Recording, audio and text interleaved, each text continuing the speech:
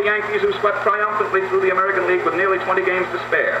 We see them in an apparently gentle mood just before the bell rings for the initial game, but standing still to be photographed does not show the hidden emotions and aggressiveness that will in a moment inspire them into chance-taking and devil dare action. We bring you now over to the Giants dugout for a glimpse of Bill Terry's fighting champions of the National League. And now let's tune in on the rival managers, Joe McCarthy and Bill Terry.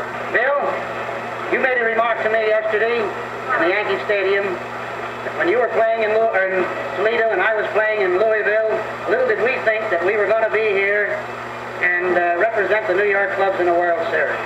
You're right, Mac. And I'll say one thing for you. You've done a great job as manager, and you've got a great ball club. But we are going to give you a battle. And may the best club win. Thanks, Bill, very much. Okay. Charlie Ruffing and Carl Hubbell were the opposing pitchers for the first game.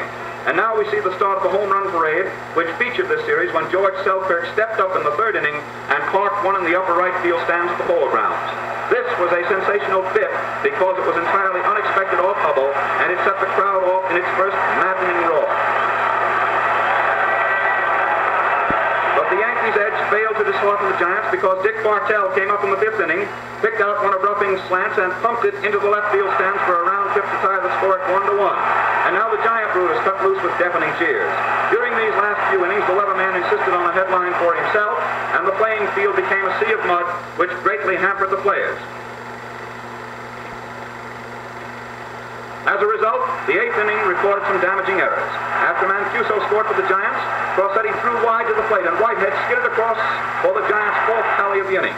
This was also the last run of that game. The Giants pulled this game out of the mud by a score of six to one. Let's take a moment before the second game to meet a few of the celebrities, because after all, famous people become just so many mere fans after the game is on. Here's Governor Lehman greeting the two managers. And this is Mayor LaGuardia shaking hands with Jimmy Walker, former mayor of New York City. George Raft also takes a bow. And here is President Roosevelt in a neighborly acknowledgement of the fans' greetings. The president's great natural spirit of enthusiasm is most appropriate at a World Series. Jim Farley, himself once a great amateur ball player, is with the president on the extreme left in the automobile.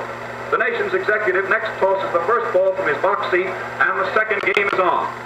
Gomez and Schumacher started what turned out to be one of the most one-sided slaughters in World Series history.